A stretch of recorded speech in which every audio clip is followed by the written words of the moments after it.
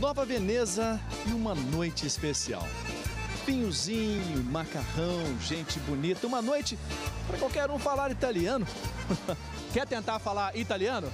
Quero. Então vamos lá. Italiano.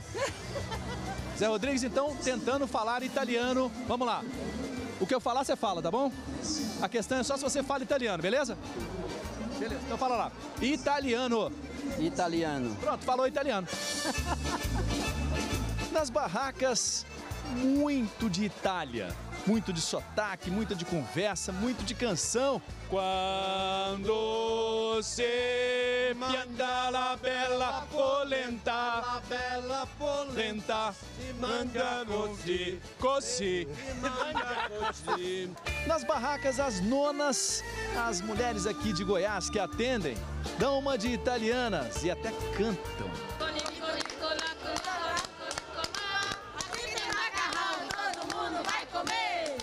O aprender com a paixão vale muito mais. Não tem tempero maior do que a paixão na comida, né?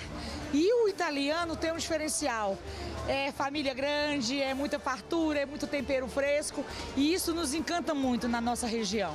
A gente tem muito prazer de fazer uma bela massa e servir. Tá bom, moça? Uma delícia, muito bom. Olho de quê? Tem molho branco e molho vermelho. Gosta de macarrão? Sim. Agora, no meio dessa galera toda, a gente vai descobrindo as figuras. E tem muitas, viu? Olha aí, cara. Descobri na festa camisa igual, calça igual. E a barriga não é igual. Não, não. São, são as 12 festas anteriores italianas, você vem aqui direto.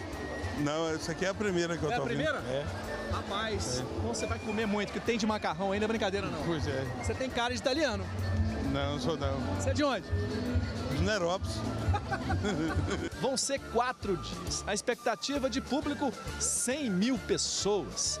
A inauguração da festa, olha só, o palco, autoridades, tudo bacana. E não é que eu encontrei gente bonita mesmo, de verdade, vestida a caráter. Toda festa tem uma princesa e tem uma rainha, né? Pois essa festa tem três. Verdade. Olha aí, ó. Uma, duas, três. O que, que faz a rainha de uma festa italiana?